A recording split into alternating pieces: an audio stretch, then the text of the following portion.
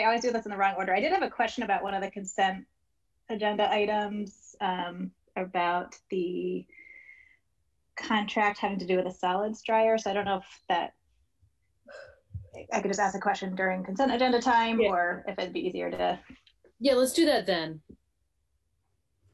When we're in the consent agenda. But otherwise, just like moving stuff around, adding things, taking stuff off. All fine with No. me. Okay.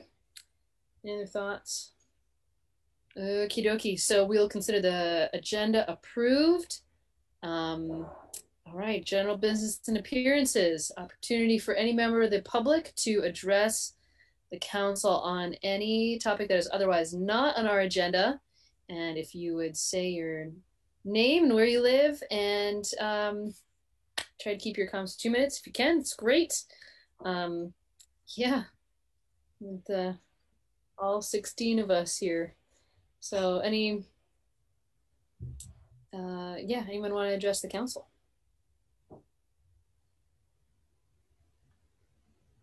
And just to be clear, folks can raise their hand using the raise hand function under reactions or turn on your camera and physically wave, or you can um, uh, just unmute yourself and let us know you want to say something. But uh, I'm guessing that no one, no one has. Uh, I don't. I'm not seeing anyone. So, um, all right, we're gonna keep going then. On to the consent agenda. So, Lauren, um, if you want to go ahead. Sure, thanks. Um, yeah, so just um, about the, sorry, trying to find, so um, item H on the consent agenda, the engineering contract for the solids dryer evaluation at the Water Resource Recovery Facility.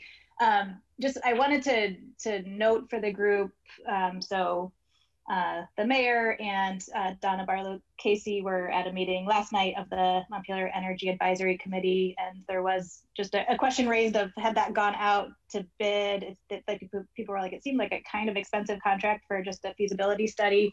So I just had the question about that, and I, I know that there's been some um, kind of a lot of staff in and out in the last couple of weeks. I don't know if Donna has the answer to that, um, and I just wanted to flag I'm hoping that part of that will be scenarios that will um, will not necessarily like looking at the economics if we are not able to sell the biosolids uh, because of the contamination issues like that we would have you know what what is it in like the scenario where we could if we're able to treat it at some point and could sell them but just um, knowing that like they could be a situation where we weren't able to actually sell them and so like the the drying the solids and having less to ship and stuff is still going to have some savings and um, you know, it's still a useful exercise. And I know everyone was interested in seeing it, but just, just I'm hoping that that will be part of it. And I don't know if Donna knows that uh, off the top of her head, um, or just wanted to make sure that we would be looking at kind of different iterations of it, just knowing there's that contamination issue that is still kind of of concern. So, um, uh, sorry, I don't know the details to that. Um, I was in for part of um, today um, at work and um, Kurt was in. I had assumed he would be on this call. I Um, think he's- I, is is he on the call? He's not, but I, I, I also thought he was going to be on for the um, plan, you know, the water sewer master plan. So he may, we may just want to hold that question for now, and we can always vote it at the end of the meeting if we don't.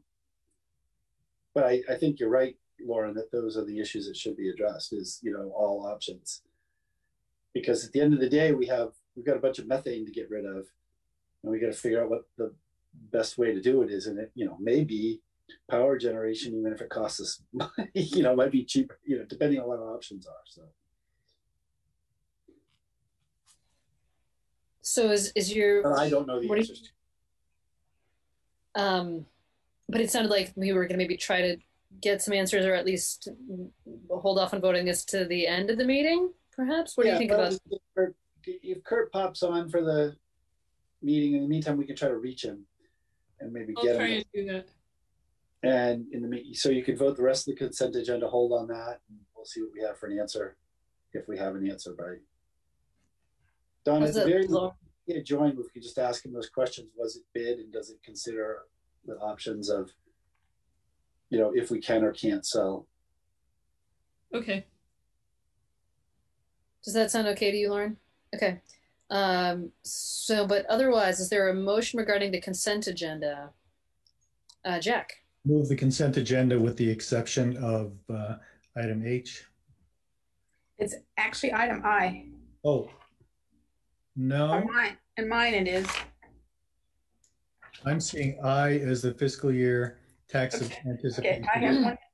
That's not the one I have, but fine, as long as there's some Well, agenda that, to be clear, the engineering contract for solids dryer evaluation at Water Resource Recovery Facility.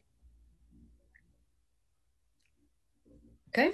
Um, Second. and if there, okay, there's a second. Any further discussion about consent agenda? Okay, uh, all in favor, please say aye. Aye. I, And opposed? Okay, so the uh, motion carries, and we will take up the solids dryer uh, evaluation engineering study uh, towards the end uh, of the meeting. And so for now, we are on to the uh, water sewer master plan, which is, I think, um, basically carried over from the last meeting. Um, so back to, I, I guess I'm turning this over to Kelly, I think. Correct. She, so uh, as you recall, she, we gave a presentation at the last meeting and there were questions about the specific projects and I think we sent that information out probably that night. Um, so, and you, but before you adopted the plan or took further action, you wanted to have, see that and have that conversation. So Kelly is here and uh, hopefully Kurt's here, but at any rate, um, on to Kelly. I can just jump in for one minute. Sorry, Kelly. Um, Kurt, I just got a hold of Kurt and he's just running a few minutes late. So he's jumping on in the next few minutes. So it won't take long to resolve the discussion. Great, thank you, Donna. Hey, um, so just based on last week's conversation, um, I've got my slides at the ready if you want to take a look at them again, um, or if you would like to have a summary um, to that end.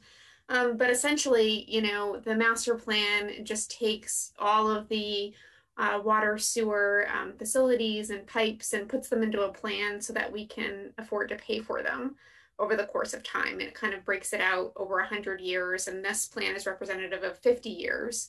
Um, and it invests over those 50 years a total of $83.2 million on each side of things, water and sewer. Um, and so, in a nutshell, that's what this plan does. Um, it does account for the projects that are known at this time. Um, and then, in addition, we wanted to make the recommendation to re- review and revise this every three years so we can kind of take a look at things in terms of whether or not we're meeting our benchmarks, if there are new standards to be met, um, and just generally to check in to see how things are going. Um, generally, you know, we're on point with the plan as it was initially adopted in 2016. Um, and I think by taking this review, we've been able to also take a look at our debt service ratios, um, which, you know, depending on the way you look at it, we are up against that threshold in 2023 if you don't account for um, the revenues for the wastewater uh, treatment facility. So, um, but with them, we're below. Um, so it's just making sure that we're keeping an eye on our policies and um, we can continue to do what we need to do. We know that we're going to have some investments that are needed um, in other infrastructure areas like streets and roads, bridges, that sort of thing. So um, I'm happy to take specific questions or show slides. Um, up to you.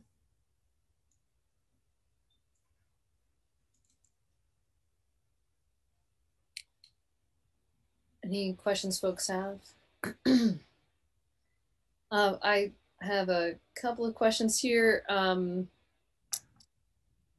there are a cou- a couple things that I feel like I have to hold intention in looking at this um, this information. Thank you for sending it along. Um, one is, um, you know, one of the graphs looks like we are not really going to get started serious replacement until like 2027. Um, is that that okay? So that um, that's accurate. That, Um, that, that is accurate. Um, so for the first couple of years of this plan, it's just sort of based on the appropriation and based on what we had in place to start, and then we really start to ramp things up, and so that's what you're kind of seeing in the trend. yeah, and um, And the, and Mayor, Madam Mayor, the Yep, primary yep. for that is, because I think it is important to understand that, is we have this huge debt payment for the water treatment plant, which drops off. And once that drops off, then that fund money is available to be repurposed into line Right. replacement. Yeah, that was the that was the thing that I was thinking I was holding in tension, right? So on the one hand, it would be great to do more um, projects sooner and to to really start ramping up now. Uh, but the tension is that we have this debt service, and I recall your graph where we're sort of slightly over uh, the recommended policy, but for a very short while, and that's. Um, that's sort of the balance there is my assumption and of course the only other thing that that i you know am thinking about is um, the potential need for uh, emergency replacements and um, and you know it's good to know that that is in the operational budget rather than the, the capital uh, budget um, but uh, anyway i I I'm I'm very interested to in making sure that we have uh, sufficient funding for for that. And it does sound like we you know we are we we do kind of have our hands tied until until um, until that debt service is generally paid off or you know reduced. Well, we have our, our hands tied if we also want to stay within the rate structure we've proposed. And then we Sure, yeah. Try to raise more revenues to, to pay for Yeah. stuff early. Yeah, no, fair enough. Um, any other thoughts or questions? Uh, from the public, Steve Whitaker here. Sure, go ahead, Stephen. Uh, I would also request at, uh, at your discretion, uh, opportunity for public comment. It's the website that would not serve up an agenda or call in details for, uh, until Donna was kind enough to send me a replacement. Sure, yeah, that's fine. The, uh, with regard to the water and sewer, I think it's, uh, it's, I think further investigation of options for certain projects to begin to, especially uh, remedying problems. We can't tolerate sewer gas at state, East State, and Main for four more years just because you know that's part of a grand plan. That that's just obnoxious sewer gas, and it it, it, it makes our town you know smell like a sewer. And and and there's a restaurant used to be there. Uh, there's a new bakery opening right there, and it's just it, similarly the kids were swimming at the confluence and they were unaware that the combined sewer overflow comes in right above it, right above the bike path bridge. These, these kinds of things cannot be tolerated for four more years out. You need to insist upon an emergency, you know, prioritized. What are our options to begin to tackle some of these priority projects sooner, even before we start, you know, total replacement? But uh, I just want to emphasize that that's uh, there. There are a number of projects like that, um, but those two come to mind immediately. Thanks. Thank you. Um, other comments? Yeah, Lauren, go ahead. Well, just kind of on that point, I, I know we've talked about it before, but you know, I think thinking of what advocacy the city can do, like around how the state ARPA dollars are going to be spent, knowing that they earmarked 225 million for water and sewer projects um, for ac- across the state for the next three years. Um, so, you know, I'm sure the city staff are uh, are on it, but you know, making sure that we're front of the line because I think that's exactly the kind of project that you know these funds could potentially help us accelerate. Of course, there's like a massive backlog all over the state, so we'll be in competition for all of that. But um, but certainly, it sounds like the you know projects that they know are ready to go and like geared up and could get the money out the door in that three year window. I think it's going to be the trick. So just underscoring, you know, us being as ready to jump on any opportunities as we can and making the case for those.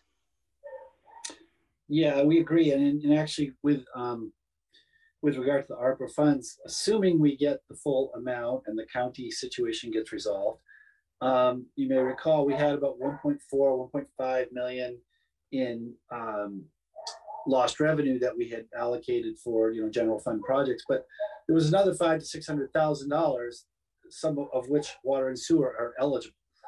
So you know, as we think about how to spend that money as well, um, there, there is you know we could in theory have funding in the next year or two to be dealing with some of these direct issues out, outside of our normal rate structure.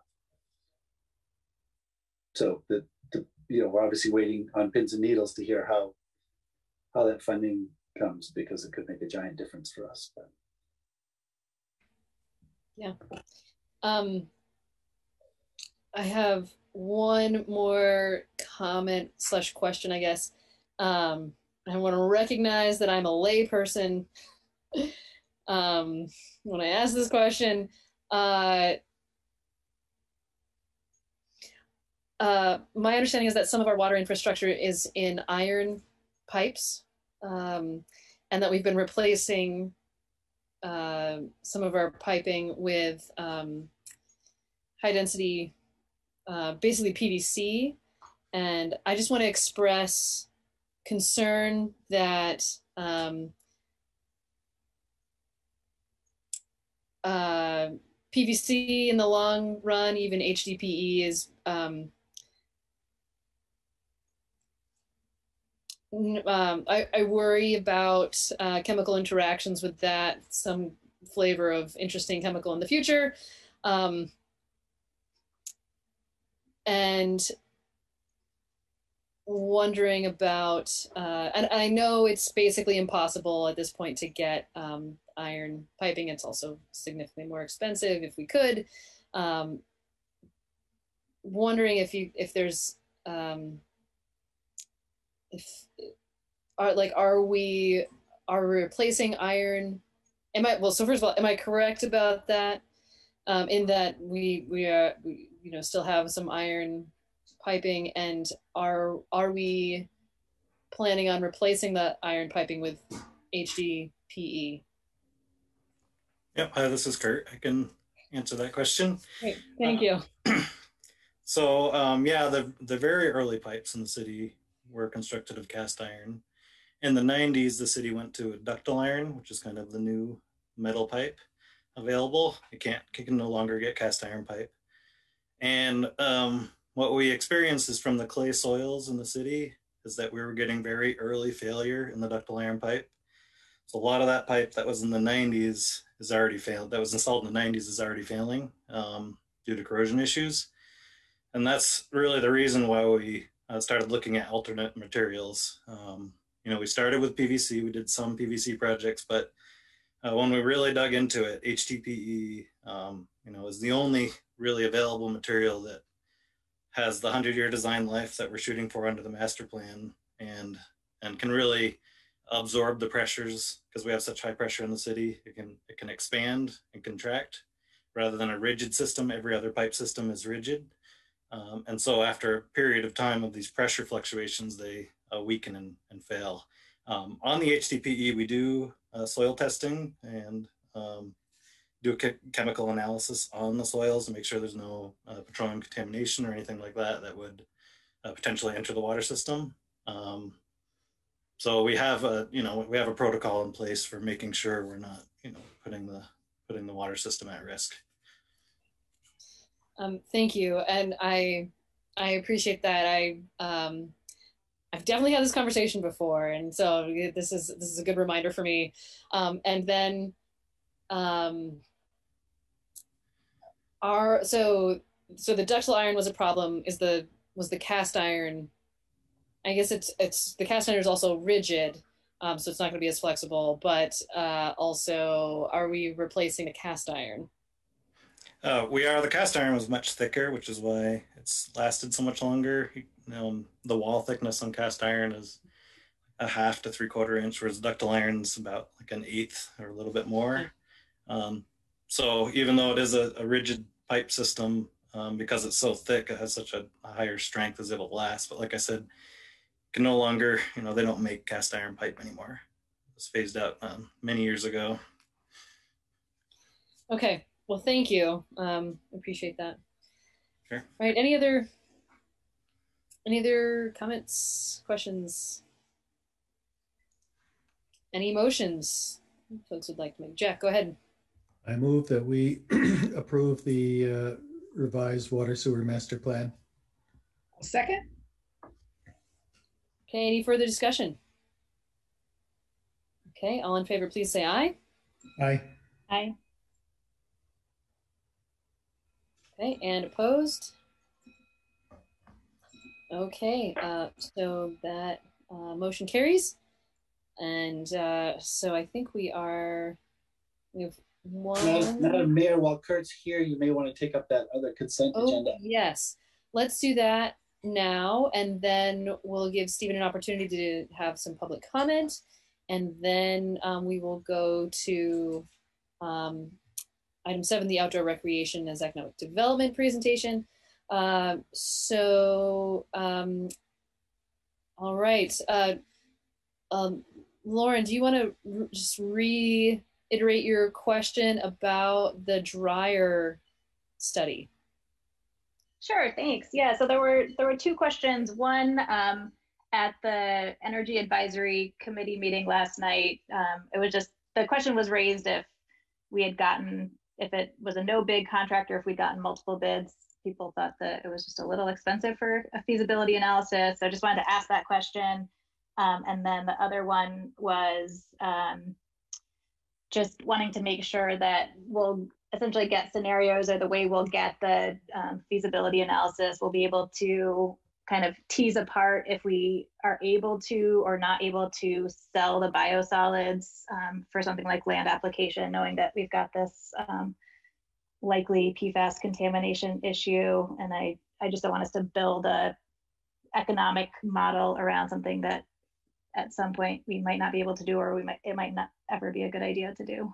Um, so I was just hoping like the information we'd get, I presume it would be, but just wanted to just confirm that from you, Kurt. Sure. Um, so we did not uh, bid out the feasibility study, and the reason for that is um, it's really tied to uh, gas production. Uh, the methane production really um, impacts uh, the feasibility of the dryer study. And Brown and Caldwell was very involved. That's the um, con- the engineer doing the feasibility study. Uh, very involved in the phase one contract for design, and they have um, a direct working relationship with ESG, who did uh, you know was our uh, construction manager for the phase one project.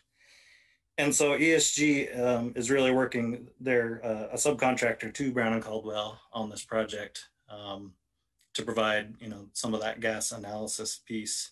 And then the advantage of Brown Caldwell is that they have, um, you know, they have all the plans. They're familiar with the project. They're familiar with the site. Um, the the cost is not, uh, you know, really out of line. I don't think with the feasibility study. It's, it's similar to uh, other projects we've done. Um, you know, I didn't see it as a red flag. Uh, the price that went along with it, but but that was the reason why we did not uh, bid it out. And we also um, confirmed with the funding agencies. We spoke with um, DEC and USDA to confirm that uh, they were okay with uh, a no bid um, feasibility study, a no bid contract for uh, awarding this. Um, and because uh, Brown and Caldwell did uh, the original preliminary engineering report for the plant, um, we're basically amending that preliminary engineering report to include the, the dryer. Uh, so it is eligible for both USDA and state funding. Um, we want to make sure that was all set before we um, brought it to council. Um, as far as the uh, solids um, uh, disposal, we've had some discussions with um, the residual management group from DEC. DEC. Uh, they've confirmed that uh, with a Class A solid, um, you can uh, use this material for a topsoil. Um, they uh, the project will or the, the study will verify whether or not this is a Class A material or will will be able to achieve a class A material. Um, so I mean, as far as selling it, I mean that's I, I guess that we won't really know if we can sell it, but we we have an we'll have an idea if we can use it. Um, we've talked um, high level about maybe um, trying to set up a contract with the state potentially for uh, using it in topsoil on their projects, um, or maybe other towns. You know, as a municipality, we can't sell it to the private sector, but we can to other government sectors. Um, so there's certainly a, a, possibility there. It will not be able to use uh, be able to be used for um, you know human consumption um, uh, crop growth. You know, you could use it for uh, feed uh, corn, growing corn for feedstock, but not not for uh, human consumption crops. Hope that answers your questions. If I can, happy to follow up if you have other concerns. Go ahead. Can I just say, so like, I, I guess I'm just assuming that like the way we'll get the information though, we'd be able to tell like if, if we're able to make money off of selling the biosolids, just, just I've been, you know, part of conversations with state lawmakers that have expressed concern about the use of biosolids that contain PFAS. And so, I mean, who knows from a policy perspective what will happen, but I just, I just don't want us to get locked into a scenario that if our options shrink. So, I mean, I'm assuming like that would be like a, a line item that we could say, well, if we can or can't, we can kind of make that judgment of like how big a driver and the cost um, is that piece of it versus being able to, you know, the other potential benefits of being able to dry it um, and have less transportation costs and that kind of thing. So yeah, well, there is something it's presented in that way. Yeah.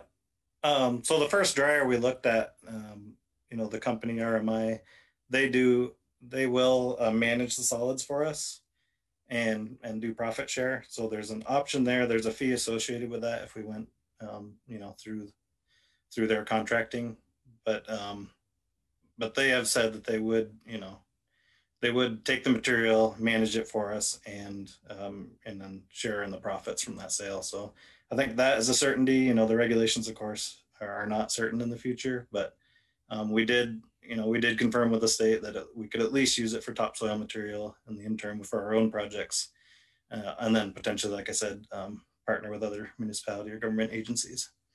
But yes, um, that's certainly a part of what we're going to be looking at. The overall economics is is you know key to the project. Um, so absolutely, we'll be looking at that.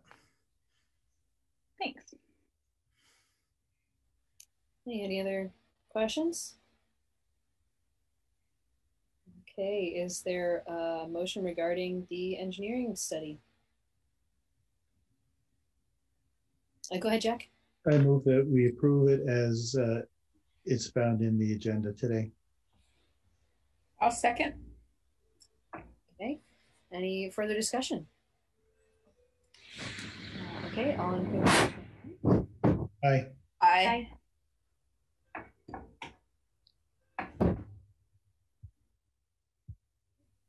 And thank you for that explanation, Kurt. Um, it's very helpful. Um, all right, we are going to back basically to Mayor, I hate to interrupt you, but um, your microphone, there's something happening to it. Oh, It's not Oh, that's connected. what you We can- cannot hear you. oh, you can't, you can't hear. Like, am I quiet? You were getting some static, but I could hear you just then. Okay, is that better? I think okay. it's fixed. Okay. Okay, great, fair enough. All right, um, right, so we're gonna go back basically to general business and appearances. Um, uh, as uh, Stephen had uh, uh, missed that, so um, go ahead, Stephen. Uh, thank you. Uh, I'd like to commend having several years later, we're finally got the driveway finished through from the Barre and Main intersection out to the parking lot. We missed the opportunity to get chargers installed, uh, both soliciting uh, Tesla to put some in and put the other class, whatever chargers in there, and make that it's a downtown destination for charging so people could shop and, and eat and wander the town while they charge their electric vehicles. Uh, that's unfortunate, but um, it's not it's not impossible to retrofit the lot. the fact that we're paying $1,600 for an electrician to come and program dimmable LED lights uh, when we don't even need dimmable LED lights is absolutely absurd and wasteful and an example of the type of mismanagement lack of oversight that we have grown uh, complacent with. The trees, I mentioned this last year, last week, week or at the last meeting. We've got five city trucks, nine, eight or nine people consuming consumed day after day to plant a few trees. And this is prime weather and opportunity to be completing lots of the long overdue potholes and curbs and unsafe sidewalks. And I don't believe the public was warned or approved a budget that included that much tens of thousands of dollars potentially in city staff and, and truck maintenance uh, and amortization and materials to the budget they approved for planting a few trees. So I just question if anybody is scrutinizing what's really going on. The, the, the trees are nice to sit under a shade tree some years from now, but we're missing out. You know, winter will be approaching and we're missing the prime time to begin catching up on some of the long overdue public works projects. And people are kind of complacent about this, and it's just not okay. Uh, I mentioned the sewer gas already. That that is more complex, but it should be shovel ready when and if money becomes available competitively, which means design work should have been started on that already. You know, I talked to Tim Haney. He owns the building. You, you could conduit under, do some active ventilation from a you know, a fan and a conduit and let it out above building height. You know, there's got to be some inexpensive way rather than doing a complete system rebuild uh, to remedy that in the near term. Um, the July 1st, there's the experts and the folks that I've been talking to, 70, between 70 and 120 people are going to be uh, no longer eligible for the hotels they're staying in and that's going to put a severe load. And we have no plan in place. We have no showers, no facilities uh, lined up to anticipate that. No huts, no camping approved, anything. And that's just. And if you wonder why, now I'm going to make one more comment about the. I was shouted down with an angry public works employee in my less than a foot from my face with spittle coming out of his mouth for not having a vest and a hard hat and steel toed shoes. And for the rest of the next two hours, every pedestrian who got lost by the improper routing and barricades wandered out in the street in a narrow closed lane with no guidance, without shoe, without the proper shoes or even in sandals, and they got no reprimands. But our public works director doesn't see fit to to reprimand that employee for his abusive behavior of a citizen just wanting to keep it safe. So I think you got some management problems here, but uh, the homeless uh, uh, an opportunity. I think we're this is an example where you've agreed to form a task force on bathrooms, but that it's going to drag on till winter or next spring. Uh, I thought of a good name for it. Uh, do do do it uh, would be a name for the committee. Uh, I spoke to the person who's renovating Sweet Melissa's. He's open to the idea of co-locating an uh, externally accessible uh, public restroom on that building. Um, so there are opportunities if people get serious and we're ready to start acting.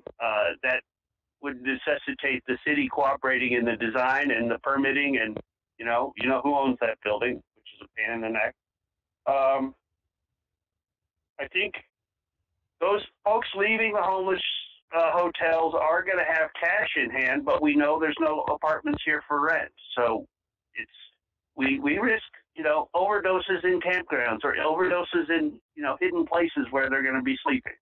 So you know walking out of a hotel and into no place, no shower, no bathroom, twenty five hundred dollars in your pocket, that in some cases is going to be a deadly recipe. So I'm just warning y'all. And if you wonder why I harp on the same things over and over again, I've decided the only way is to create a paper trail so that the sovereign immunity you enjoy and rely on uh, will potentially be punctured by uh, gross negligence uh, when you ignore this stuff too long, too many times. Thank you. All right, thank you, Stephen. other, any other, any other uh, members of the public um, wish to say anything?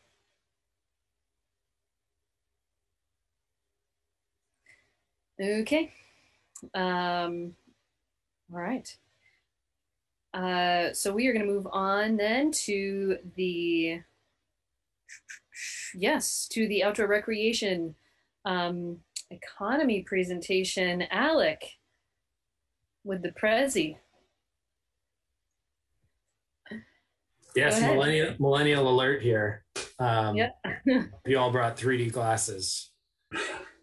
If I could just uh, tee this up a little bit before before Alex starts, um, we have once a month a leadership team meeting where we try to look at bigger picture things and future, you know, th- things other than getting stuff done. You know, looking looking ahead, and we suggest items and we go through a process by which we vote on and select the topics. And Alec had suggested this topic of, you know, Montpelier as an outdoor recreation destination for economic development, and, and that got selected as one of the the choices, and, and we take turns leading the the meeting. So I think it was May that Alec did his presentation for us, and we all liked it so much, and we're really impressed and taken by it that our collective re- uh, reaction was the city council should see this um, and to be thinking about, it, especially as we're going into um, strategic planning.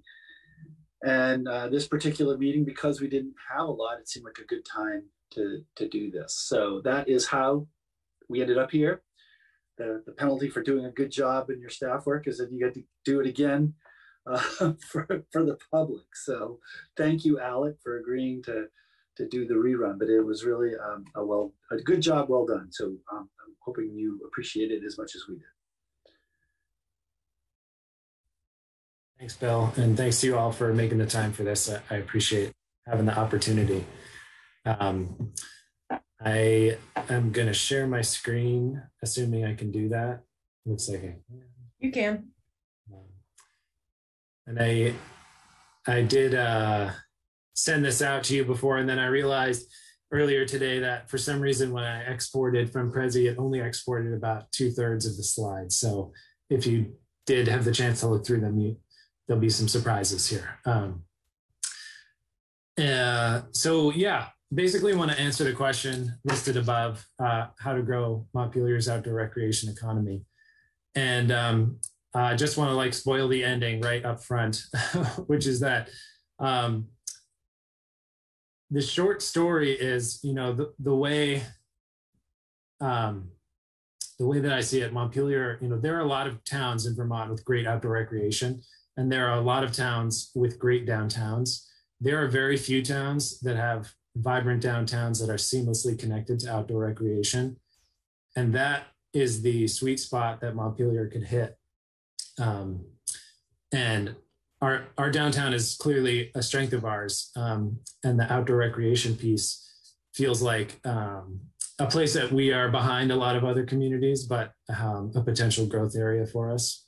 So this presentation is going to be all about making that connection uh, between outdoor recreation and our downtown and economic development. Um, so it has four four pieces, and I'll, I'll go through them.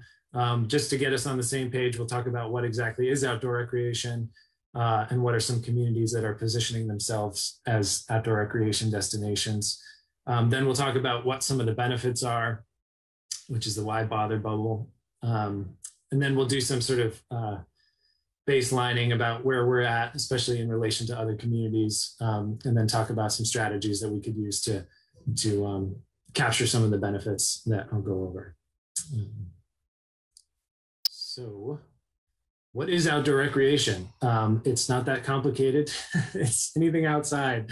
Um, and the spectrum is like a nice amble from the new shelter to the tower that takes you 20 minutes, all the way to like ice climbing with skis on your back so that you can get like first tracks down uh, remote glade. Um, all of that is captured within outdoor recreation. Um, and you'll see we'll see some communities that try to like focus in on a slice of that um, and and we'll kind of look at what slice of that montpelier could potentially focus on um, so uh, some examples of communities that are doing a particularly good job um, i'll go there's a you know nationally known um, brevard north carolina uh, if you talk to anybody about outdoor recreation destinations who are sort of in this field um, this would definitely be in the top top five, top 10. Um, they actually, their town kind of almost looks like Montpelier uh, when you look at pictures of it. But similar size population. Um, they have what one of the things they have going for them is that they have access to incredible public lands, uh, federal lands in all directions. So Brevard is in Western North Carolina. Um, so they have access to the, um, the mountains down there. And they have done a good job of uh, capitalizing on that natural resource, and, and, they have over a million people um, who visit there every year. Um, um, the next one is a little more local, East Burke. Um, so a lot of people have heard of Kingdom Trails, but for folks that are not uh, deeply ensconced in um, outdoor recreation, you might not realize that this is like the place to go for mountain biking in New England. Uh, so if anyone is traveling from the region, you know, from the country or the, from the world to New England for outdoor recreation, they're, they're probably going to come to Kingdom Trails. Um, what makes them unique is that all of their trails are on private land. Um, so uh, they have a totally different approach from what Brevard has done. Um,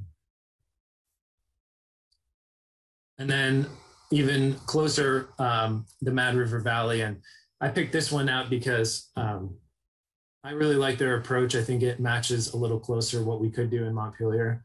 Um, they have a more holistic view that includes uh, walking paths and hiking and, and, swimming holes and more family friendly um, adventures. Um, they've been at it a long time. You know, I would consider them to be have been on the cutting edge of this trend, um, you know, 35 plus years.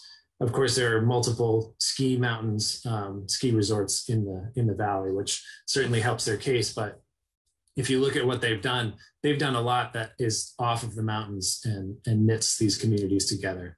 Um, so there are some video links if you want to uh, check them out. I won't I won't show them because it'll take too much time. Um, let me just change one thing here. Pause.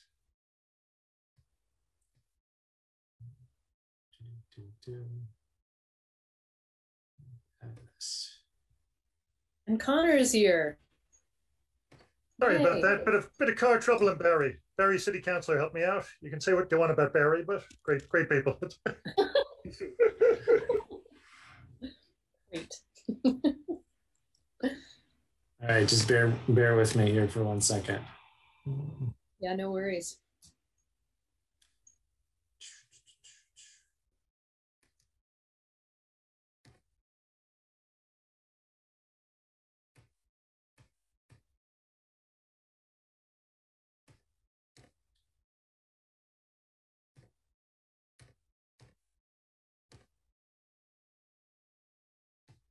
Okay, I'm back share screen.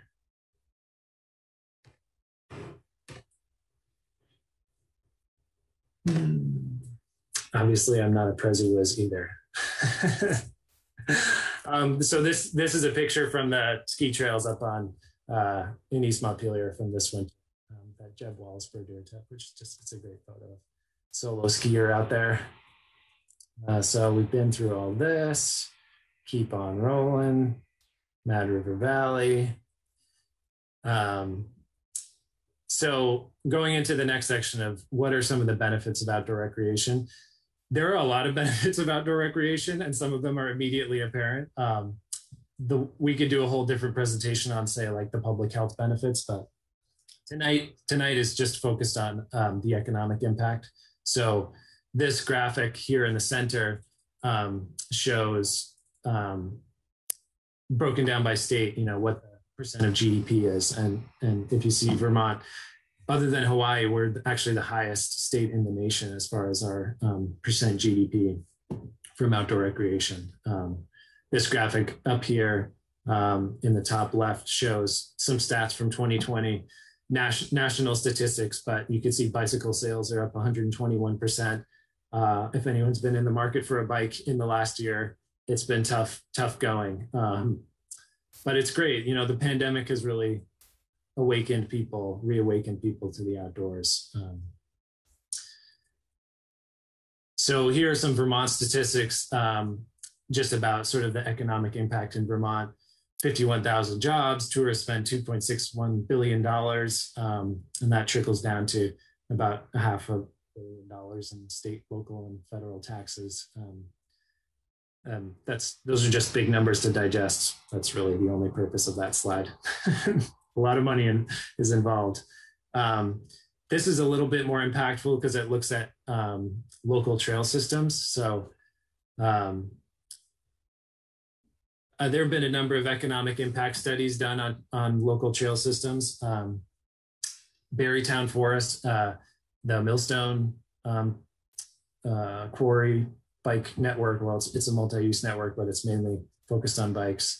Uh, if anyone has never been there, it's an incredible place. Uh, it's all these trails that are woven in and throughout uh, these old quarry holes, and they're all filled with water, and um, there's swimming there, and just incredible, incredible recreation. I'm not actually a mountain biker, but I know that a lot of people enjoy that place. Um, so this study is from 2013, and they had you know $640,000 in spending um, that the study determined would not have happened in the area if the trails were not there. Um, I'm sure that's gone up in the last seven years. Um, Blueberry Lake, similarly, 2016, $1.2 million, 35,000 visitors. And then looking at Kingdom Trails as sort of like a marquee place, um, they've got over 100,000 users. And this was from 2016, and Kingdom Trails has, has blown up even since then. Um, I'll just look at this graphic down here. Um, it's from the Blueberry Lake study, and it shows where people spend their money when they go to recreate. Um, and if this is kind of like shows some of Montpelier's strengths: shopping, retail, restaurants, bars, entertainment, lodging. Um, and this is, you know, part of part of where I'm going. It's just how well Montpelier is positioned to dovetail with folks who are looking for outdoor recreation, because this is ultimately where people spend their money when they come um, to communities to recreate. Um, and then I want to give you just a really quick snapshot into uh, some local statistics. Um, I haven't had the time to sort of like beautify these, um, so they're straight out of SurveyMonkey. Um, but we did a survey with our local mountain bike association, Mamba, um, and we asked them a bunch of questions. But I pulled these four out. Um, of the last 10 times you went riding, how many times did you leave Montpelier to go riding? And about half of the time people leave Montpelier. Um, and the next question was, okay, so you leave Montpelier, what activities do you engage in? It's sort of very similar to this picture I just showed you from Blueberry Lake. People do spend money going out to coffee shops and eating out and getting gas, going to bars.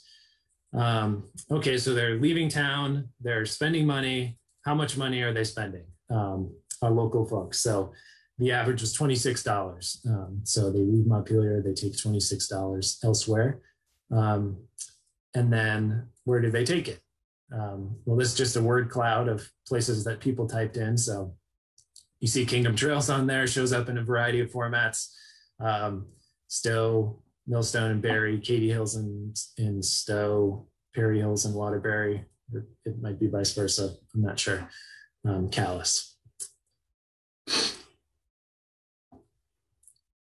And I will add to, if anyone has questions, like please just jump in. And uh, if I'm going too fast, you can tell me to slow down too, if you want to take a closer look. Um, so, um, you know, what is what is the right fit for for Montpelier? What how does our our city sort of dovetail with outdoor recreation? Um, this is a graphic from a national study on outdoor recreation that was put out just you know was just released a few weeks ago, and they go into a lot of the benefits and um, they're listed here on this graphic. Um, and I just want to focus for today on the ones that are circled in blue. Um, And so we'll dive right into tourism. Um, so with Montpelier, you know, the sort of tourist experience, like the classic tourist experience is, you know, do what this person's doing, snap some photos at the State House, wander through our historic town, go out to eat um, somewhere lovely, and, uh, you know, then be on your merry way to wherever you're going, Burlington, Montreal, Stowe, um, or, or wherever. Um, so what we're trying to do with outdoor recreation is to turn a few hour visit into an overnight visit or a weekend visit. So maybe you come to Montpelier, you do that, you know, three hours that I just described, but you also go for a ride at the North Branch Trails, and then you have dinner in town, and then you stay overnight, and then the next day you're in your car, you're going over to Barre to the Millstone Trails, you're going out to Eden Barre, um, coming back here, having dinner in Montpelier, staying another night, and then you know the week. It's a nice, nice weekend package, and you're on your way. Um, this is really, I think, uh, something, an aspect of our community that I think we undersell. Um, which is that we're so close to so many amazing outdoor recreation destinations um, year round. Um, between all the ski mountains and all the um, amazing mountain biking and all the hiking and um, and then you add to that stuff all the stuff that all the things that are right here in town. If we're able to sort of package that for people into something that's more attractive and they can hold on to, that will draw more tourists to town. Um, you know, there's there's a lot of people who I think would much rather stay in Montpelier than stay on the mountain in Stowe or, or Sugarbush or somewhere. Um, or similarly, like folks come to go to Kingdom Trails, they're coming to Vermont. You know, maybe they don't want to stay in East Burke. Maybe they want to stay in Montpelier, and the mom wants to go shred gnarly bike trails at Kingdom Trails, and the dad would rather stay in town and eat ice cream or something. Um, or you know, people have different interests. Go to go to movies, so we can capture that those folks who want a more rich experience. Um, on the right, I just put some numbers as far as what Kingdom Trails has found in their economic impact studies. Um, this is from non-Vermont uh, people who are coming from outside of Vermont. Day visitors spend $376 um, per party is how they broke it down. And overnight visitors are, are spending, uh, you know, triple that, uh, at least quadruple that.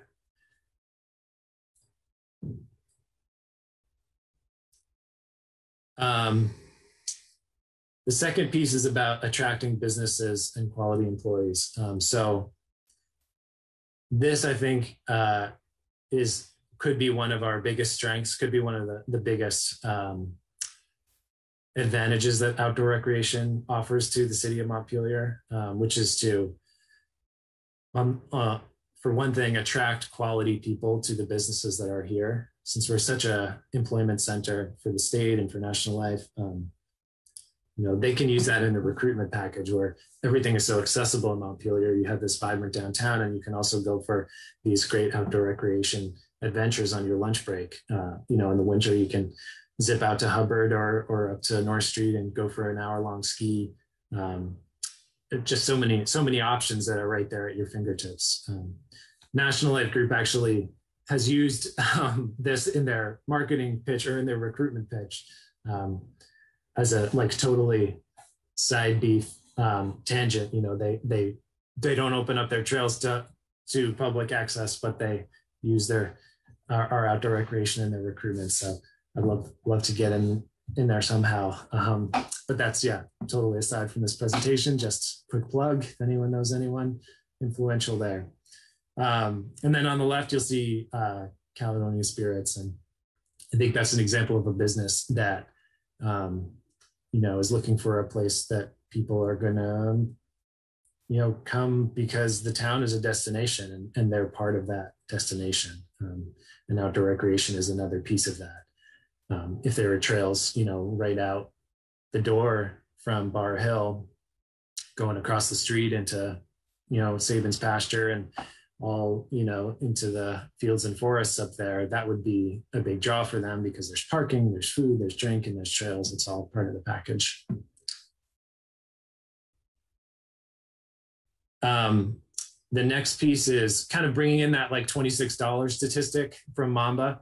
You think about, you know, folks coming from other communities and spending $26 in Montpelier. Well, you know, if you multiply that by 10,000 people over the course of a year, all of a sudden we're, you know, splashing down a quarter of a million dollars in our downtown um, because we're attracting people to recreate in our community. Um, if we could get 100,000 people, you know, coming here from all over Vermont or the region, um, just because they want to come to Montpelier and go skiing, hiking, biking, and then eat in town. Um, now we're up into, you know, multiple millions of dollars that are being dumped into our community from other places. Um, and then the last bit is about attracting new residents. Um, this is obviously a complex issue, and outdoor recreation is not the silver bullet, but it is part of what we can do to attract more folks here. And especially the part that I'll emphasize is just attracting young young families. You know, young doesn't have to be families, just young people. Um, obviously, aging population is a, an issue in Vermont, and, and outdoor recreation is compatible with attracting young people to the area. Um, and I'll just pull up this quote here, which was in that same national study, but it was from a woman who moved to Vermont um, because of uh, all the things that she lists, you know, access to world-class recreation, rural landscapes, small towns, resilient ecosystems, community support, and local agriculture. So, you know, that's Montpelier right there.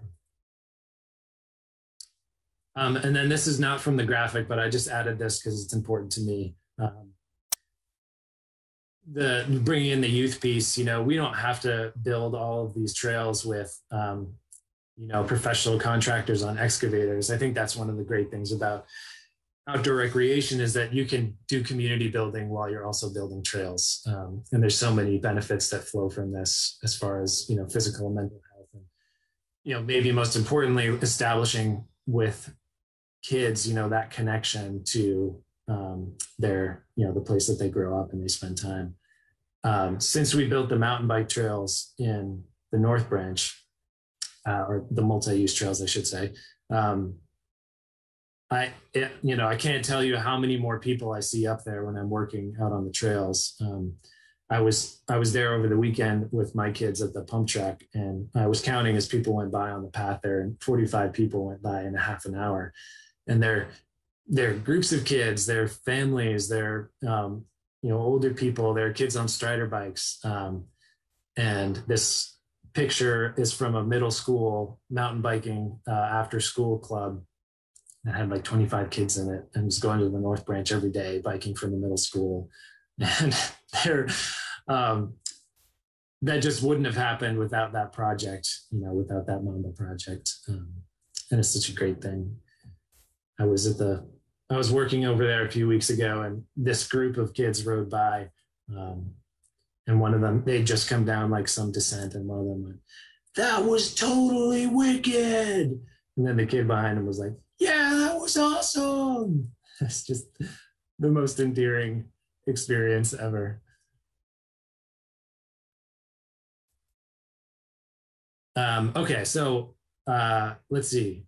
Um, this is where we're at right now. Um, I think I don't too, too much into this because uh, you're all very familiar with Montpelier, but we have, um, you know, this map will sort of sh- show along with the along with the path that runs through town. This is sort of the bulk of our network, a connected network from the State House all the way out to the North Branch Park and East Montpelier. So it's a great it's a great start. About 15 miles of trails.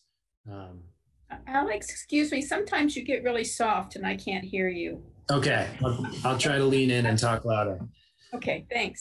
I'm, I'm not a loud talker, so thank you for that feedback. Um, okay, so they say, I think they say uh, comparison is the thief of happiness, but uh, here we go. This is kind of how we stack up to some other towns. Um, Montpelier, 15 miles of trails. How many users do we have? We don't really know because uh, we don't count them. That's something that we are trying to to do, and we've gotten some grant money for trail counters, but it's an important metric that we just don't know. Um, other towns, looking at Waterbury, 20,000, Barre Town, um, that's old statistic. I'm sure they're way up from that. Um, all the way up to Kingdom Trails, which is well over 100,000 users now. And then in terms of miles of trails, you know, a lot of these communities have um, double, you know, triple and more more actual miles of trails, and that's an important metric, which is that, you know, when folks want an outdoor recreation experience, they're generally looking for something that's longer than Montpelier can offer at the moment. Um, at least, uh, you know, at least with biking and skiing and some of these more active ones. Um, I would say we're like five to 10 years behind the communities that have been riding this wave and like 10 to 30 years behind those that were really on the cutting edge of this. Um, but um, it's, you know, it's not all, it's not all bad there. We have some great things going for us. Um, and obviously our downtown, our historic, just amazing downtown is, is really stands out. Um, and uh, people come here for the State House, um, Hubbard Park, we're centrally located, like I mentioned before, um, and we have amazing topography. Like many towns in Vermont, you can be from a upland forest down to like a very lush riverside environment uh, within, you know, on one trail. Um, and then the rivers. I mean, I know we've talked about this before, but the rivers that we have are just such an underutilized resource um, for many things, outdoor recreation among them. Um, if we could get on water recreation into our matrix of offerings, then that would be a whole nother thing that we could offer to folks who, who want to come here. Um, and then I put a question mark after strong, stable employment because, well, that's a little bit unknown as far as when folks are coming back or if they're coming back. But hopefully, that's still going to be a strength.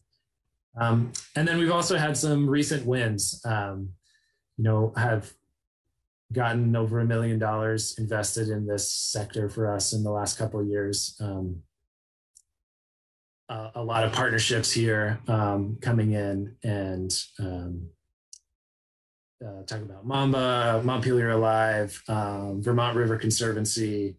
Um, I, I, won't go through all these here, but there's just been a lot of a lot of good momentum lately. Um, and uh, yeah,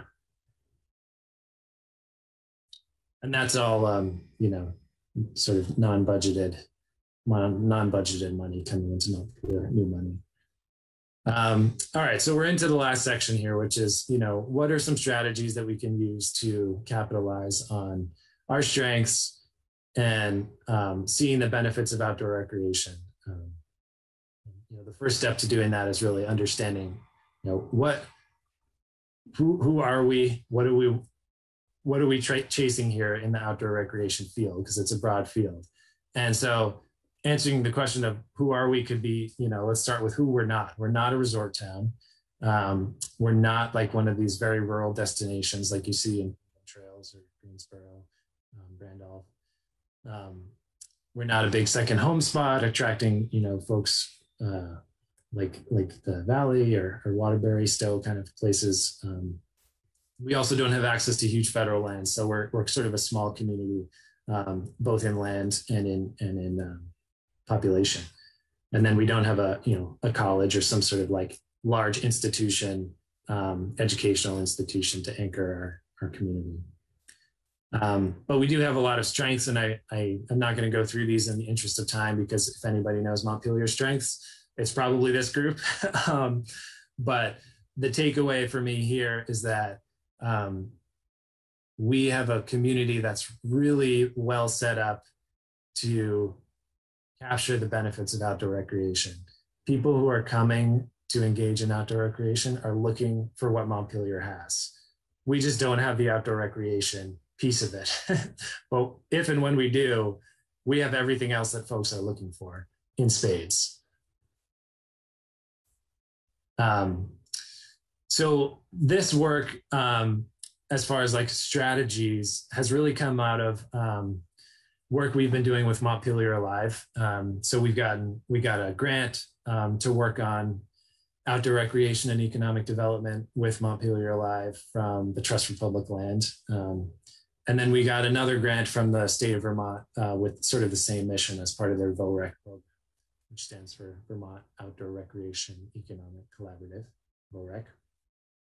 Um, and and they Montpelier Alive because they are a conduit for so many things going on in Montpelier, and they're also like what people see uh, when they come or when they're looking at Montpelier. They've been really helpful. You know, Dan has been really helpful at helping us um, sort of hone our vision of how we can make this effective.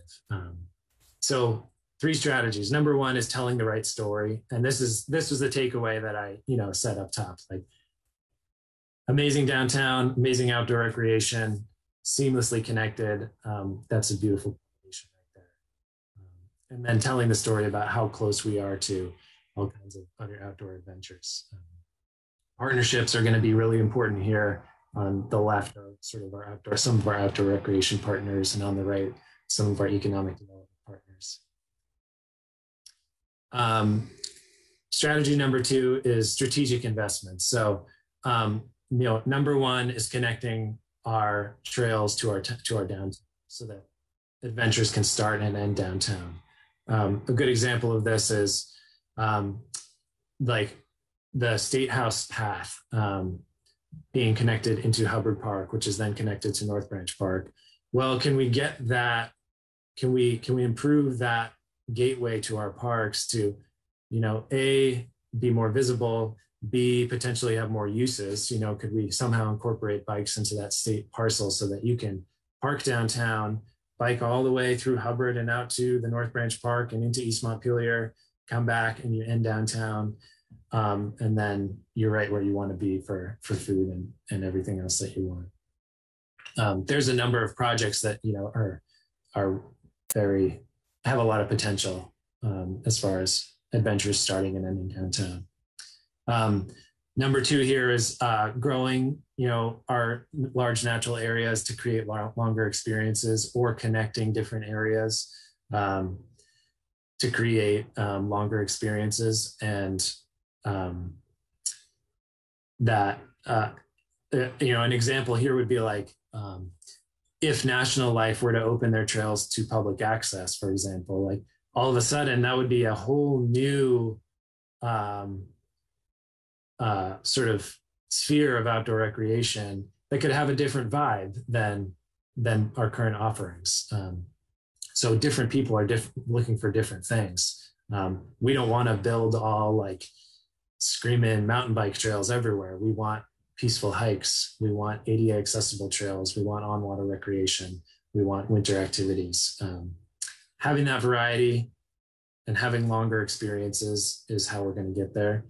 Um, I showed that statistic about sort of the number of trails that folks have. You know, if you think about Kingdom Trails having over 100 miles of trails, we're very far from there. Like we may never get to 100 miles because we're just too small a community but um, uh, with with partnerships, um, both in Montpelier and without, we can we can start getting closer to that, and that sort of dovetails into the last bit, which is um, just thinking about some of our regional partners. Um, certainly, Wrightsville jumps out um, across Vermont Trail with the new bridge going in. Um, other towns too, like Northfield has a plan now to have a bike path all the way to Montpelier to the to the border. Um, and uh, you know, Barre City would love to be on board with uh, CVR. Um, and so there's some momentum behind some regional conversations. Um, as we we got as part of our VOREC grant, um, we partnered with the Regional Planning Commission to host regional meetings with outdoor recreation and economic development stakeholders to develop ideas for the region um, that CVRPC is sort of like holding that ball because it's just too big for Montpelier Parks to take on. um, and there, we just had the first one last week, and there there are some great ideas that have come out of that, um, including like a sort of regional recreation district, kind of like Wrightsville does, but on like a bigger scale. Um, and there's a lot of you know VOREC funding coming down the pike. So that type of partnership is what VOREC is looking for with this grant grant round, and and could be a real growth area for the region. So uh, that is the end of the strategies, and that's also the end of the presentation. Um, and so, if folks have any questions or comments, uh, or you felt like there's any glaring omissions, I would love to hear them. Great, thank you. Um, if, okay, great. Uh, thoughts from council? Oh, first of all, I guess uh, I'll just jump in and say that was delightful. Um, super interesting, very informative, um, really encouraging, actually. Um, even though we may not be these other destination towns, we, it sounds like we have a lot of potential. And um, yeah, I'm looking forward to just hearing about some next steps. Um, I do have some other thoughts, but I'm going to hold off on that for now. Um, other comments or questions from council? Yeah, go ahead. I, I think I've spent more time in parks the last year than I have the rest of my entire life put together and really developed an appreciation for uh, what you do, Alec. Um, just a cross country skiing. I was talking to like a, a family over by the uh, North Branch there saying like, you know, they cross country ski all over America and it was like the city maintained trails that are some of the best they've ever seen. So, like that's a that's a real credit to you guys. Um, so, a bit of a selfish question, but disc golf is the uh, fastest growing sport post pandemic there, and I was a bit curious uh, behind the old shelter, noticing a few baskets pop up. So. You know, I, I see this as something that could bring tournaments to town. Like people travel for this, and there's some really big events. So, um, is that just a private course that's kind of starting up? Do, do, you, do you have an update on that? Uh, that is that is a private course. Uh, it's very well posted on the on the Hubbard Park side, uh, and I don't I don't know the folks, but if they want to make it public access, I'm all for it. And I completely agree with you that a city disc golf course would be a wonderful thing. Just you know, place and funding for it is all we need, really. Yeah, go ahead, Jack. I, I can really relate to this presentation as you were talking about attracting people. I was thinking about the uh, the two days I spent in Vermont when I was interviewing for a job to come to work here, and the the interviews culminated with me sitting at the uh, Montpelier Office of Legal Aid that used to be on Elm Street, and we were up on the second floor, and the exec- executive director pointed out the window behind him and said, "See, people in this office go cross country skiing up there uh, at lunchtime," and uh, and it was true, and it was great. Uh, it, it, was a real attraction. Um, I think that what you what you're saying here is uh, really captures some of the opportunities that we have in Montpelier. Um, I don't know if anyone else remembers this but it was about two years ago.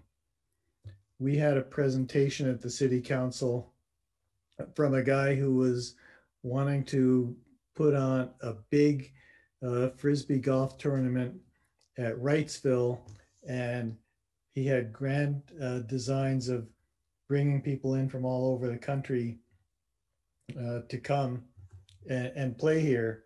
And I if it ever happened, I never heard about it, and I expect it just never happened. But uh, while you were talking, I, I did a search for tournaments uh, in Vermont, and they're all around Jeffersonville, Enosburg, Randolph, Montgomery, Brattleboro, Waterbury, North Calais, but nothing at Wrightsville. And it seems like that's something that we that could easily be uh, be done. Not easily because I know it takes tremendous amount of effort to to organize any kind of tournament, but it definitely seems like an opportunity. And and so I I think this is a great idea to be thinking about how we can expand what uh, what we're doing to uh, to bring even more people to this uh, to this great community.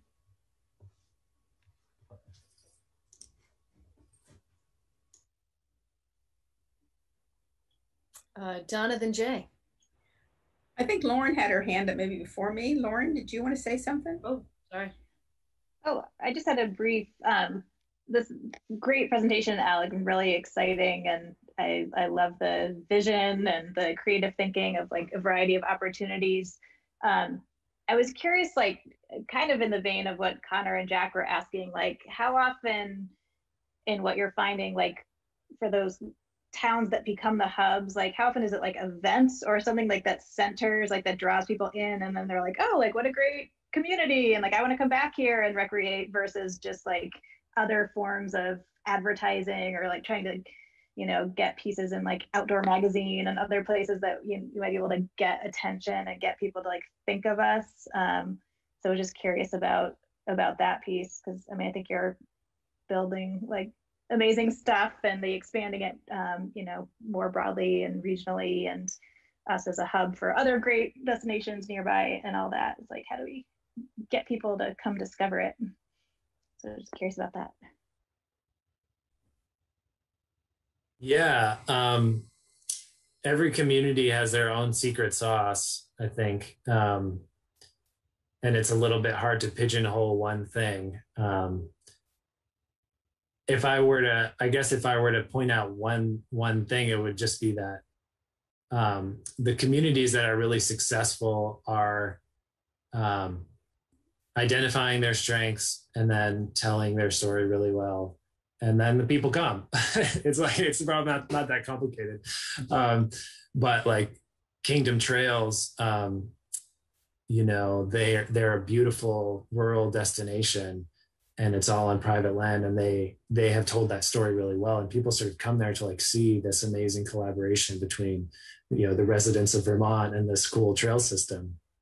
Um, um, so you know, for us, that's why the Montpelier Alive connection is so important. Um, and, you know, all the credit to Dan for having that uh, mind, you know, because it's not certainly not where my mind is necessarily going. But when people look at Montpelier, they have no idea what Hubbard Park is or the North Branch Park or Greenmount Cemetery or anything. You know, they just go to Montpelier Alive and they look at what's on offer there, and that's what they do. Um, so that particular partnership is so important for us to present, uh, which I think what your question was to like present um, everything that we have to offer in the right way that people can actually find it. Does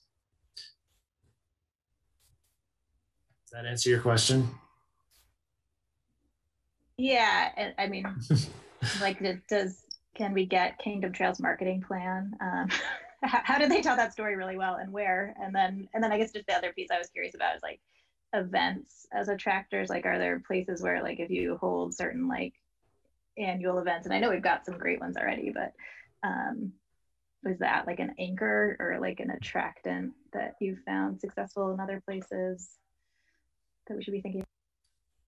Yeah, I don't think I really know to that level of detail what has made people successful. Um, I will say, actually, this was the picture in the presentation, but I didn't zoom in on it. Um, you know, our economic development strategic plan, when you look at all of like the page that has the um, all the plans, you know, the five year plans, outdoor recreation is not on there in any single one of them. Um, and that, you know, that's a good plan and, and, and it was written by smart people, but um, I think it just shows that like this was not really on our radar when the when that plan was written, and so as we update that, um, and you know, I guess this is really why I'm here is to like just draw attention to this as a potential strength for our city, and as we update that, like those kind of questions of like how do we be successful as an events, as a marketing, and how exactly we do that is probably like the next layer down. Um, but I don't feel like I have the expertise to really know that at this point. Go ahead, Donna. Uh, yes, and to build on that, I guess I'm remembering when Jeff and you came, I would say six years or more ago, talking about this kind of idea when the kingdom was first starting their trails. But we didn't put a lot of money, if any, towards it. But you've gone out and gotten grants and made partnerships with all sorts of private landowners as well as groups, and you have expanded our potential. So I think kudos for you. And sorry, we ha- we the council hasn't done more to support it. But you know, why not use that which other people are doing? Wrightsville, great, let them have the disc course. But you could connect with that. The parks could connect with that. We can have flyers there. We could maybe even start some of that East Montpelier snow skiing trail that you've expanded to other kinds of expansion and connections that go that far out. So I think there's we don't have to do everything ourselves, but we can connect to those things that are there. Even Waterbury, Northfield, we can put and market our trails there because there's something different. And then we also have different restaurants to connect with them. And once they come, they'll come back. So I really encourage any way that we can um, assist you on marketing to the locations people are going and capture them to then come come to us and to use us. Does that make sense? I, I love your presentation. Thank you. But yeah, yeah, that makes total sense. I mean, we in this in this regional meeting last week, there were I think forty more than forty people. Wow. Barry, Barre City, Northfields, Calais, Middlesex, East Montpelier, um, you know, and not just trails people, economic development people. So there's a lot of interest in this right now. And the big, like one of the big takeaways from that meeting was that we have so much, like there's so much here, but it's kind of, it's like really hard to find. Like it can take years or you need to know the right person to know all the different nooks and crannies um, for outdoor recreation. And a big step forward for the region would be just to like, let's get what we have out there and, and collaborate a little better. So we need a lot more maps on our website and probably old fashioned, we probably need some more brochure like things to put other places or little posters we can put other places that are laminated. You could put on somebody else's trail and they could put their trail on ours. I mean, let's bring them to central Vermont. Let's share. Thank you. I'm Jay.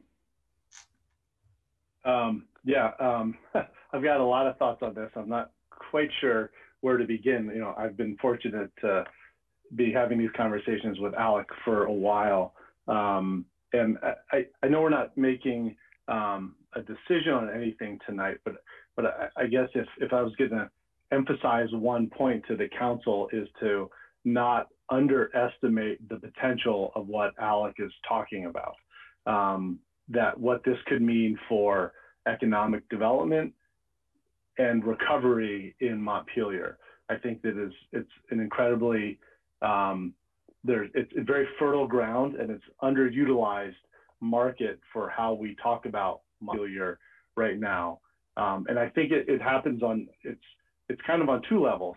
Um, to Donna's point, um, we are a we are a hub, like we are in the middle of so many um, opportunities. It could be Northfield, Stowe, um, Waterbury, whether it's skiing or biking, cross country skiing, um, you name it. Like that's one story to tell. Um, but then at the same time, with thanks to Alec and all the the good work that's been happening um, for so long, there's these great opportunities also right out our back door with cross country skiing and the the North Branch trails, um, et cetera. Yeah, obviously we don't have a ski mountain here, but you know, there's a lot of those opportunities. And we have this, we have a downtown that people can come back to. Um, and so like telling that story about how we are, we are both things that, that we are, it's right out your door, but also it's a great launching point is important. And as someone who manages a short-term rental, I can tell you probably half of the people that rent that house are come here because they can go to all these places in our area and then come back and then walk downtown for dinner. And they can't do that in other places. Um, so, you know, it, there's there's a lot of details. There's a lot of nuance. It's it's um, it's uh, definitely a, a, huge opportunity um, for. Um, I it, it, I think it is. I know that it's a huge opportunity for Montpelier, and as you know, Alec said, working with Dan to help develop the marketing around it, develop the story around it. Um, I think that it's something that we as a council, as we're thinking about economic development, and how we are sort of rethinking that into the future and post pandemic need to keep a real close eye on because, like I said, this is really fertile ground, and, and I think that there's a huge potential there. So, thanks.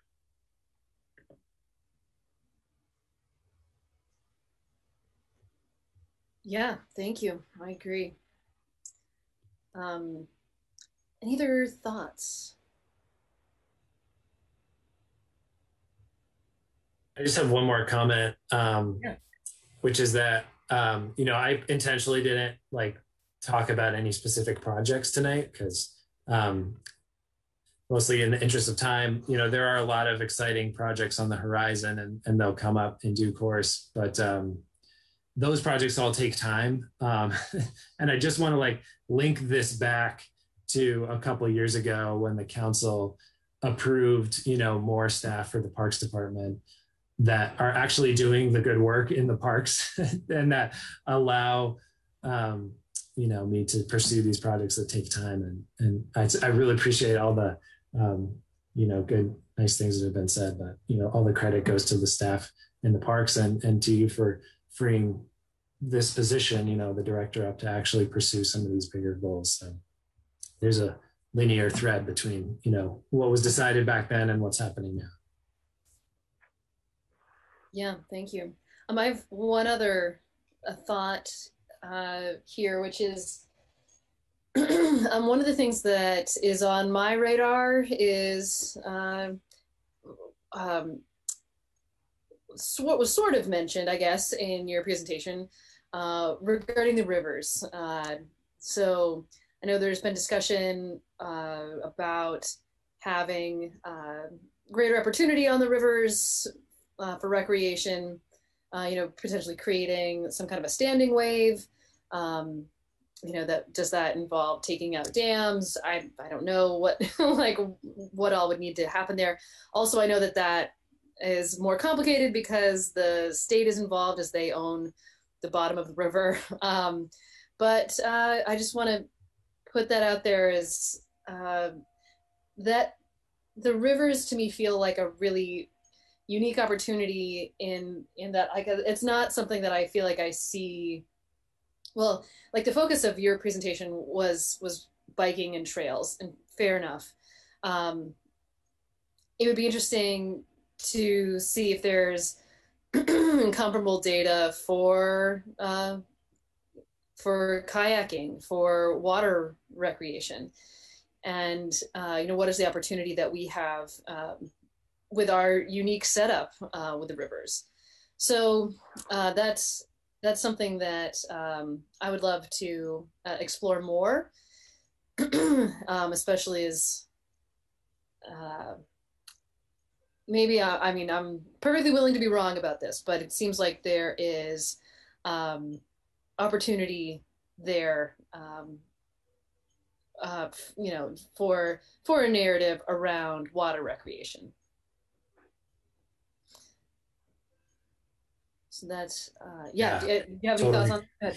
Totally with you. Totally with you. I mean, VRC is working hard on that. Um, we actually just found out that we did not get a grant to to get to like thirty percent design for for removal. Um, For what now? what's that? Oh, we, well, we lost you at the very end there. You, you didn't get um, thirty to thirty percent Yeah, design we, we had applied for a grant with the River Conservancy to to get to a thirty percent design for for removal of three dams in Montpelier, and uh, Mm. it was a slam dunk, and we, we got denied on a technicality, which was a little annoying. But um, oh no. Um, but there are other, you know, that's definitely like on the front burner as far as our partnership with VRC, and and it's it's a long road that has to do with dam removals and CSOs and um, access to rivers. But yeah, definitely a priority, and appreciate your um, Yeah. focus on it. I think Confluence Park is a great start. Yeah, and yeah, I want to recognize that that is a, an expensive long road. That's that is fair, um, but I but it's you know it's worth, uh, you know it's worth movement and as fast as we can. Um, so thank you for that. Mayor, I have a comment on this when you, Go ahead, Stephen. uh, I just want to point out that this, you know, proposed increase of recreational traffic uh, is going to be constrained by uh, accessibility to public restrooms. Uh, you know, it's not it's the tourists, it's it's the home homebound people, and it's the unhoused. They all going to need, you know, in many locations. And similarly, the recreation on the water is going to be constrained by our dumping sewage and PFAS into the river. Uh, we don't want to attract people to be poisoning themselves. So these are, you know, sobering and unpleasant dimensions to, you know, our, our grandiose plans, but uh, we haven't been able to get bathrooms for two years. Uh, let's anticipate our trail system, you know, not growing for at least two more, you know. Thanks. Thank you. Also, I'd like to point out that we do have um, public restrooms available in the form of um, uh, porta johns. Um, so uh, it's not that they're not existent, um, but uh, but we could certainly um, do better. But uh, thank you. All right, other other thoughts? Uh, yeah, Jack, go ahead. Just one small point as we're talking about the trails in Montpelier, not really appropriate for biking trails, but I would include as in maps and stuff the uh, the trails at the uh, cemetery for walking. It's uh, there, there's a lot to see there, and it's uh, definitely something that would attract uh, some of the population. Some people who, who want to do that. Sorry, you, you said the I- cemetery? Yeah. Yeah, yeah, cool. Yeah, thank you. It's a good And call. Mayor, I requested the presentation 45 minutes ago. Uh, the copy of the presentation be emailed, and uh, I still haven't got a response. Thanks. Okay. Noted. Thank you. Oh, I like it too, because it was expanded from the one we got with the agenda, if you could, Al. Yeah, yeah, I'll I'll figure out a way to get you the whole thing after this. Great. lots of good data in there. All right. Any other thoughts or comments on this? Okay, great. Um, thank you. Uh, thank you again, uh, Alec, for for this, and uh, yeah, really inspiring. And look forward to further conversation about how we can Thanks. help make this happen. Um, Thank you. Right. Appreciate your time. Yeah, for sure. All right, so we are on to just the last part of our agenda here, council reports, and then we are basically done. Uh, so we'll just we'll go around in our normal order if that's okay with you, Donna. You Going first. Oh, you're muted though. That's a good report. Quiet. Well, I hope our special meeting is really short. I'm going to go away to the ocean for two or three weeks, so I will be checking email irregularly. Hope you all enjoy yourselves. Bye. Have so much fun. That's great. Uh, Connor. All right, just a reminder, we got Juneteenth. Um, it's going to be Saturday at five, food, music. Um, it was a great event last year, and, and the, the organizers are encouraging folks to wear masks at, the, at that celebration. So um, try to be there if you can. Thanks. Yeah. Uh, Jay. I'm going to pass tonight. Thanks. Great. Um, Jack. Um, I'm sticking with the with the theme.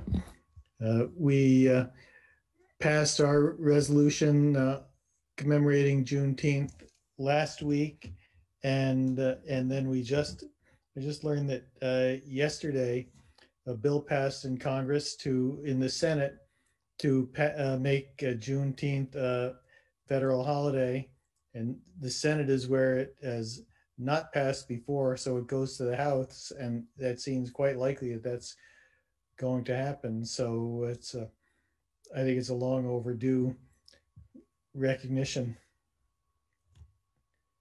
That's all I've got. Yeah. Thank you. Yeah, that's great. Very encouraging. Um, Lauren. Yeah, only thing I wanted to note was I I just realized I think my city email hasn't been working, which I know has been an issue, but I've been getting enough emails to my uh, my other email account that's linked to that, that I didn't realize it, I think, for maybe a week plus. So just wanted to apologize to anyone who has been trying to reach me through my city email, and I will work with the IT person to try to get that fixed. Um, but uh, apologies if anyone's waiting on responses for anything, and I will try to get caught back up as soon as possible. Thanks. Great, thank you. Um, and I will also pass this evening. Um, think uh, next is John. Ah, nope, I'm good. You just can't see me, but I'm good. I'll pass. Okay. All right, fair enough. Uh, and Bill. Yeah, I've just got a couple things. So first, Lauren, you mentioned the email, and um, for those that aren't aware, or this is as much for the public, we did do an upgrade of our email system last Thursday, and it has caused a few um, snigs and snags along the way, uh, and, and particularly with council email. So for members of the public that have reached out to council members, it may, you know, it's not necessarily them if they haven't gotten back to you. Um, I do believe our reps from our company VC3 have tried to text or reached out to everybody. Um, so if you haven't had a chance to do that, they want to get you set up. It is going to be slightly different, I think, than it was before, but um, better. They, they really don't want to do the, the forwarding anymore. Um, they feel that's a security risk. So they, they're setting you up with your own accounts to, to go through. So there's that. Um, I yeah, I, I noticed the Juneteenth uh, federal passing. I thought that was great, especially at the same time when many of the same people are urging that none of that be taught about in schools, um, and that um, and that they, people shouldn't be able to vote. So nice that they made the holiday. Um, Cameron um, wanted to do an update about the pool. Good evening. Hope everyone's doing all right. Um, so, with the governor's change to some of the COVID guidelines, uh, our state licensure has changed their requirements for the day camps and daycares as well. They are recommending masks for this for the children inside. So we have um, no reason to keep the facilities closed or anything separate. So we will be opening all of the pool facilities um, to the public. We are going to ask that unvaccinated folks uh, wear masks when they enter the pool house, um, and we will be keeping the inside of the pool house. Um, so we've basically created sidewalks around the edges for people to go to the restrooms and to use the showers, but the inside of the pool house will be reserved for the day camp. And we do ask that people, if they are unvaccinated, wear masks inside the pool house, just to keep our um, unvaccinated children safe. So we do want to let you know that you know we're still on track to open on time uh, that we thought we were going to, aiming for the first uh, week of July. So hopefully the July 4th weekend. Um, we'll be communicating that soon. We'll have a better idea on that uh, soon, but we have changed what our opening guidelines are going to be. Great, thank you. Yeah, so that I think that'll make people happy that have to wear masks at the pool. Um, I just one other thing I wanted to give you an update on. This isn't uh, I think a super big deal, but you probably should know about it. Uh, I very kindly was uh, got a contact from the town administrator in Berlin, uh, who I think is seeking to sort of improve our communications and relations. So they're thinking they've a couple things that uh, I went over and met with them today about in in Berlin at the pond. Um, just so you know, um, when you go in kind of the main parking area near the the access, the the the now river the pond access that we fought so hard. Um, but as you go up the road to the left, I think that's called Paine Turnpike South, they're going to add a few more parking spaces there, particularly for walkers and bikers, uh, because it's get, it is getting crowded. And we took a look at it. It's really all within their road right away, so they don't need anything from us. But I thought it was very kind of them to sort of let us know and just communicate and get our opinion. And I told them, you know, I, I thought we, we weren't crazy about the access, but if it's there, we want it to be safe, and we appreciate, you know, many people from Montpelier do use that facility. Um, so that's the thing in case you get asked about it, but none of that will be on city property. Um, secondly, all, same topic, or uh, you know, the Dar. If people know the Darling Hill Trail, it kind of Irish goes, you know, on the other side of the pond where you go up the hill. There's also really um, shaky parking there, not not very much. So they're looking at putting um, parking, either re, reconfiguring the parking space there, or as you go right, if you go up the trail, there's like two stones, and then you go to the right, there's a big open field right there. And they're just thinking making making that field additional parking, and some of that could end up on the city's property. Uh, the the road itself is is town right away, but the city property.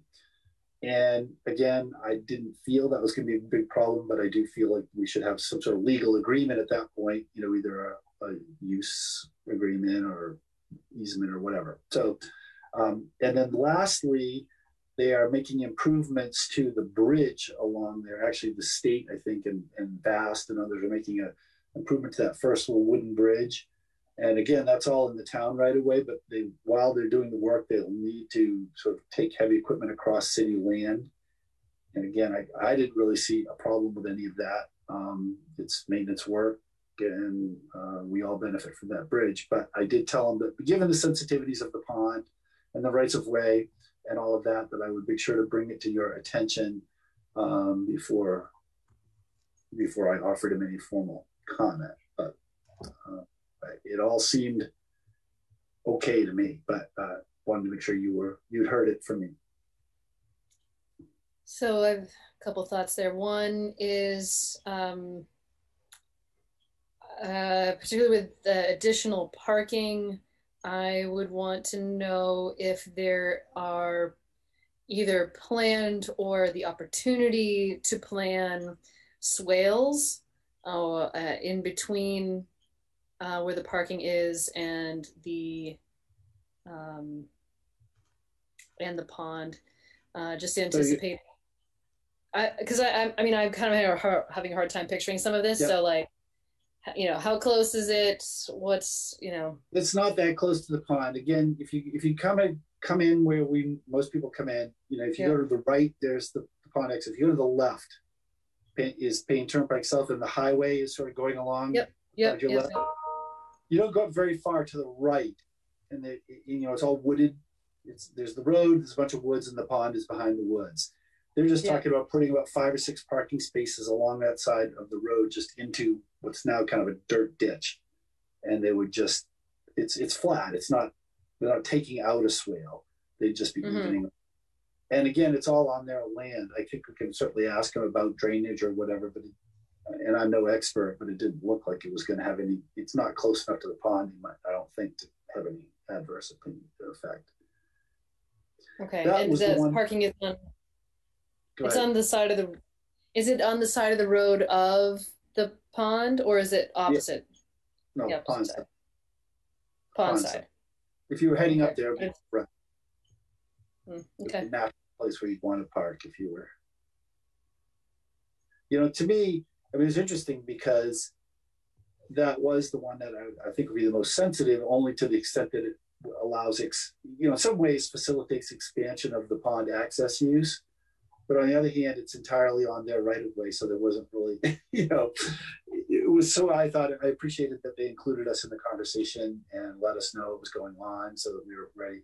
The other two over on the Darling Hill side um, would require use of our land, but again, it's away from the pond, on the other side of the road from the pond, and I think many Montpelier people use that area for hiking and mountain biking, and in fact, I think we helped build some of the mountain bike trails uh, up there, or at least Montpelier residents certainly did.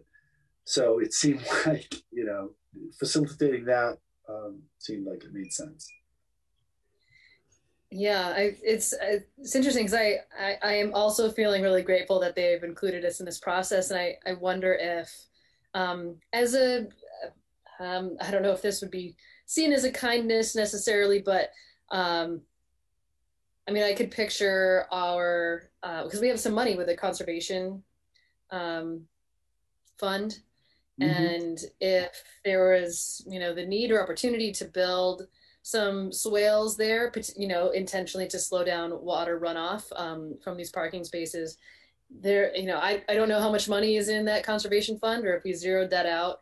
Um, but you know, if I, I I think it is in our interest to um, to I'd be happy to raise, I'd be happy to raise that issue with them. yeah, um, you know, because I mean, it's one thing for us to be like, okay, but you need to, thank you for telling us, but you need to do this also. But if we're willing to, to put up the money to, Mhm. um, to make that happen, you know, why, why not? Yeah. So anyway, and plus like, I mean, I, I imagine swales are not super expensive. So, um, uh, but anyway, that's, that's the only, and, and particularly if it's going to be on our land again, you know. So the, the, that parking near the pond is not on our land. Uh, Right, the Whale- other- Wales probably would be. The parking, the parking for Darling Hill is on the other side of the road from the pond. Okay. And up, up, going up to where, if, if you know where those sort of goes up to Irish Hill and up to the uh, cell tower and all that stuff, there's a kind of a cramped parking area there. It's steep hill. And it gets pretty crowded there. People park in the street and all that kind of thing. So they're just looking, they would actually be going further up the hill. There's a big flat area just a little further up that's a kind of a natural area. And they would just probably gravel that and flatten it out. I don't think they're going to pave it or anything. It would be uh, a place for people to park. Um, so they could probably put swales there too. But at that point, you're pretty far from the pond. Uh, but that would be on our land. So it would require some sort of formal agreement with us to do that. And then the third piece was just the, the bridge maintenance and a temporarily working on our, you know, putting equipment on our property while they fix the bridge abutments and those kind of things. Yeah, I mean, it, it- yeah, it makes sense to me to at least loop in the conservation Yep. commission folks. I mean, there's they're, you know, I I'm again speaking as a layperson, really. Um, so they might have more. They, they mentioned that their conservation commission was pretty active in, in all of these. Um, and I know, at least historically, the Berlin Conservation Commission and Montpelier Conservation Commission have been in pretty close contact. But you know, by all means, we can let folks know, and I would be happy to make an offer that if if they want to put swales in or those kind of things, we might be considering to assist. Yeah. Okay. At any rate, I, I, I did appreciate the heads up and I appreciated chance to kind of walk around and look at it. And I did tell him, and it was just this afternoon. So I said, I would be happy, you know, I would definitely bring it up with you in public tonight so that people knew what was going on. Great. Thank you. Any other comments, thoughts on this? And the only other thing I had, I did get a text from Kelly uh, early on in the meeting. It looks like we probably uh, the that tax rate meeting would probably somewhere around July seven or eight. Uh, the special meeting for that, and again, it'll be very short, very quick. Um, and July seven would normally have been our meeting, but this would be just a special.